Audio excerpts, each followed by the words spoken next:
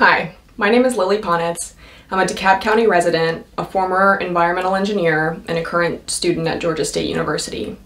I'm making this video today, September 3rd, because in four days the Atlanta City Council is voting on leasing the former uh, Atlanta City Prison Farm property to the Atlanta Police Foundation for development into a, a police training center. And I think it's important to provide context about the history of this land and the area in South DeKalb and the decisions that have led us to today um, to hopefully um, convince council members to vote no on Tuesday uh, because this is not the right site, it's not the right time. And um, so let's get started. Let's start with the land and let's start at the beginning. The Atlanta City Prison Farm property is on naturally resource rich land that has been inhabited since the Archaic period. That's sometime at least 4,000 years ago. The property is less than a mile north of the South River, which is the northernmost boundary of Soapstone Ridge. Soapstone Ridge is the largest intrusion of mafic ultramafic rock in North Georgia and home to several natural springs. The rock formations, like mineral resources throughout history, proved to be important to human settlement. In the 1980s, Georgia State University conducted extensive archaeological surveys and found sites where people lived, harvested soapstone, and worked the stone into bowls and tools. They found evidence of quarrying and bowl making on sides of boulders, and current residents offered broken and unfinished bowls that they collected in the area. Production of soapstone bowls, mostly for cooking, was likely a focus of economic activity in this community.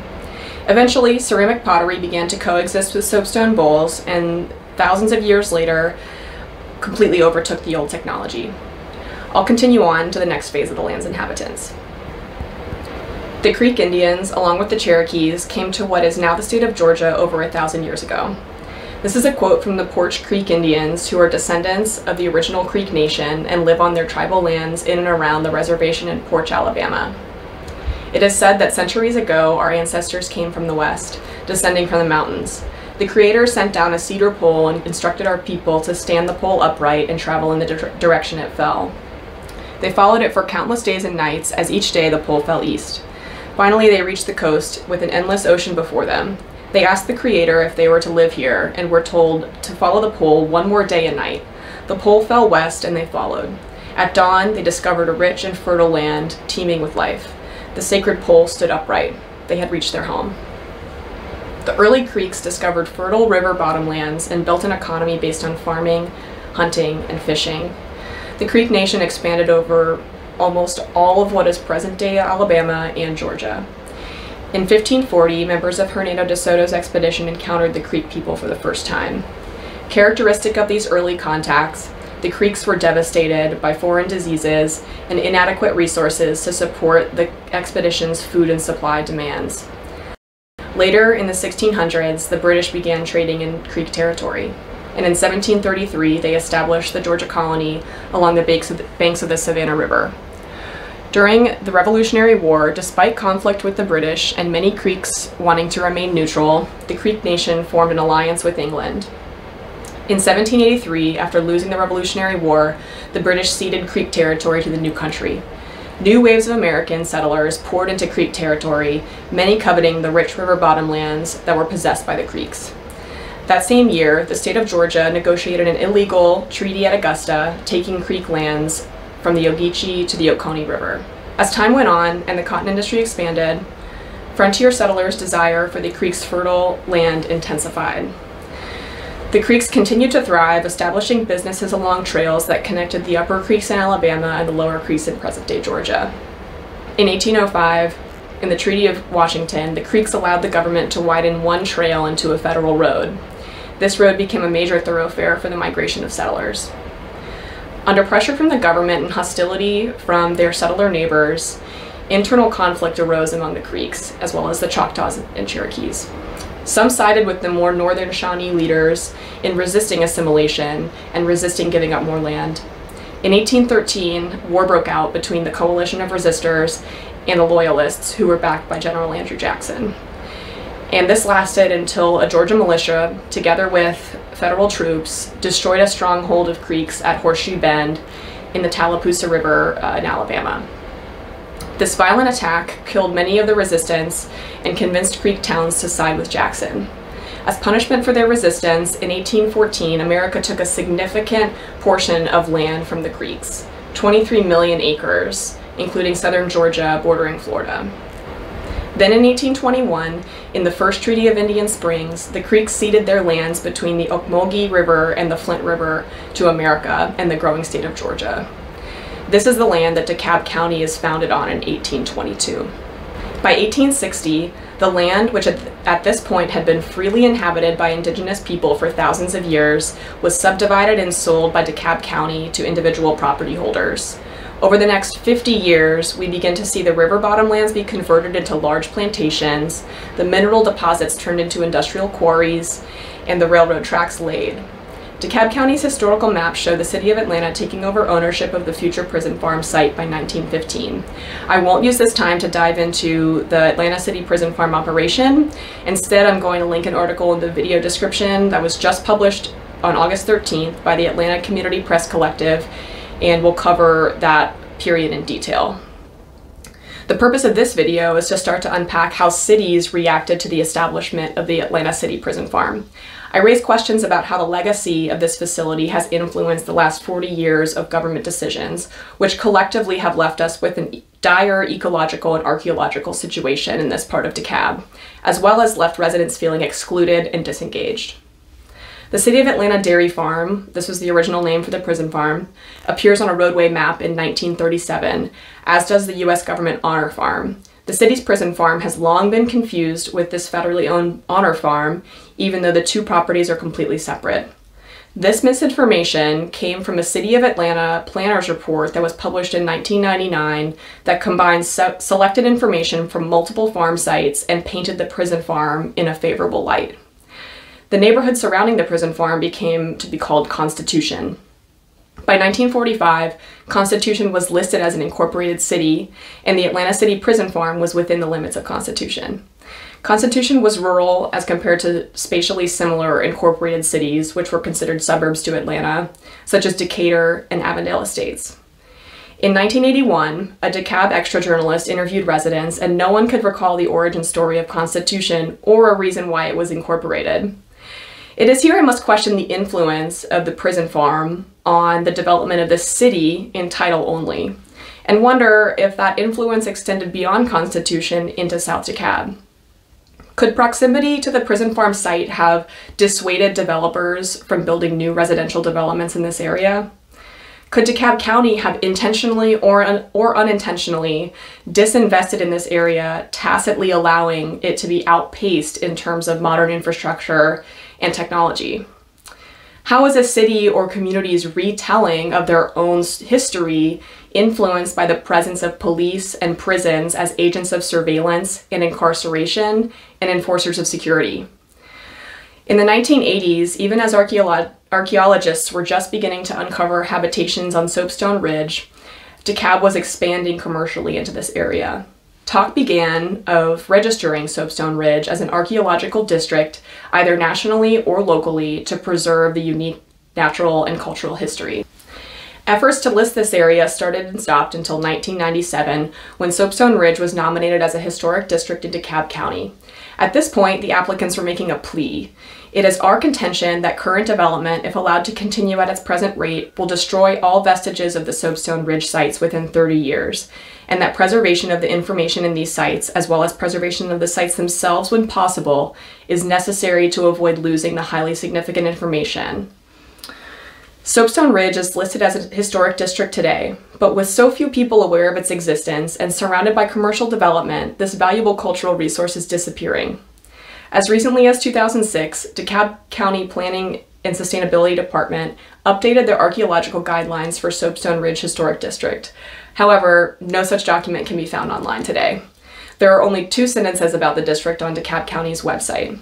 Why would the county roll back archaeological guidelines for a historic district? Why was there so much resistance in the first place to registering Soapstone Ridge? Fast forwarding to today, commercial interests still appear to dominate the political discourse around the prison farm site in South DeKalb.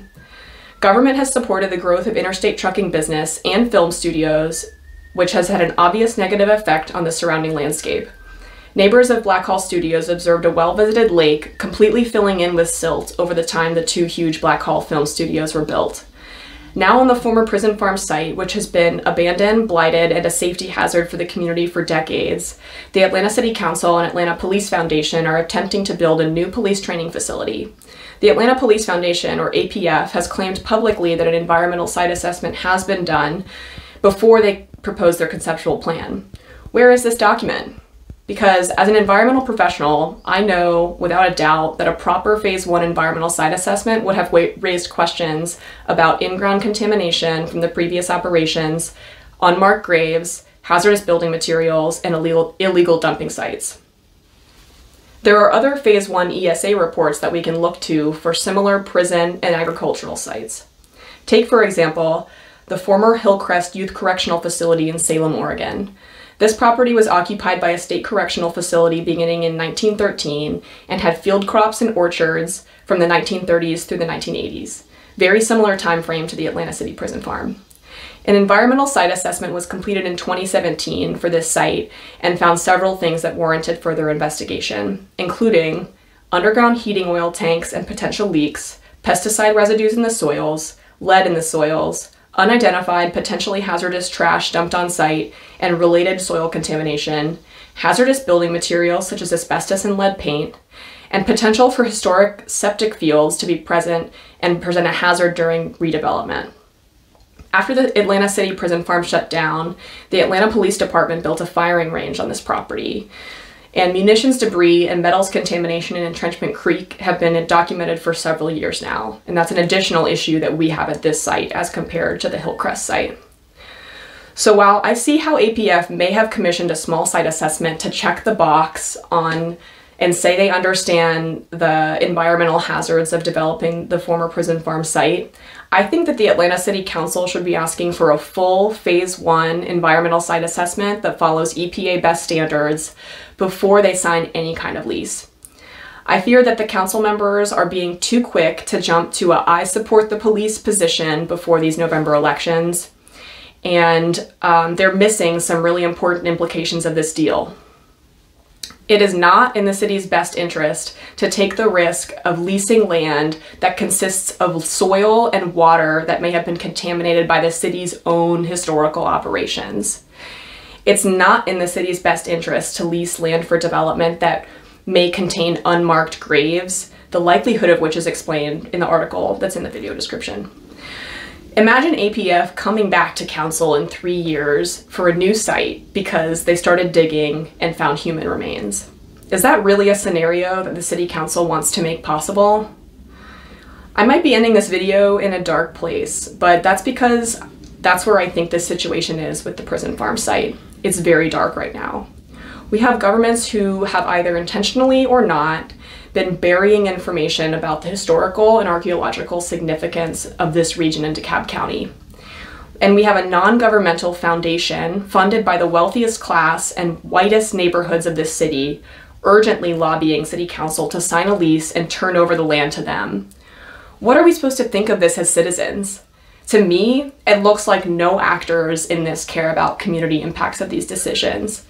What about the researchers who spent countless years of their lives uncovering Soapstone Ridge and the planners who labored over the standards for archaeological preservation just to have DeKalb County throw it away? What about the activists in Atlanta who have been putting in work for years and years to sway politicians' opinions on investment in the prison industrial complex? People who thought that they were making progress, and now are seeing how sensational media and high profile crimes can drive a fear among city leaders that perhaps the right path is not towards decarceration and smaller police budgets. That's why I'm making this video, to add context to the discussion and perhaps change perceptions of the urgency of this situation. I'm asking why jump on this site? Why jump on this plan and this set of stakeholders at this time with all of the risks when nothing has really changed to force us to act. I'm making the plea for time and investigative effort from the City Council before we sign this land away and sign away our right to protecting its ecological, cultural, and archaeological value.